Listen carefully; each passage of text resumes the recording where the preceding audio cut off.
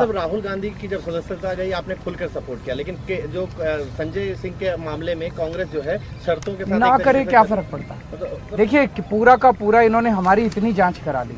कुछ निकला। बस घोटाला बोले बस घोटाला हो गया कुछ नहीं निकला उसमें सारी जाँच करा ली।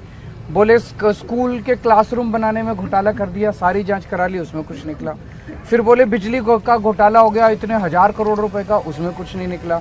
फिर बोले, सड़कों के बनाने में घोटाला हो गया, उसमें कुछ नहीं निकला। पानी का घोटाला हो गया, उसमें कुछ नहीं। अब ये धीरे धीरे पता चल रहा है, कल सुप्रीम कोर्ट की सुनवाई आप सब लोगों ने सुना कि ये पूरा शराब घोटाला भी फर्जी है। मैं तो शुरू से ही कह रहा था कि एक पैसे का कोई लेन देन नहीं हुआ। जज कल बार बार पूछते रहे भाई कोई तो दिखाओ, एक पैसा तो दिखाओ, कहीं सबूत तो दिए एक सबूत नहीं है इनके पास, एक सबूत नहीं है। तो पूरा का पूरा शराब घोटाला फर्जी है।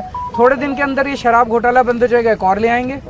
मतलब इनको पूरा टाइम इनको केवल और केवल लोगों को एजेंसीज में और इन सारी जांचों में उलझा के रखना है। काम ना खुद कुछ काम करेंगे ना लोगों को कुछ काम करने के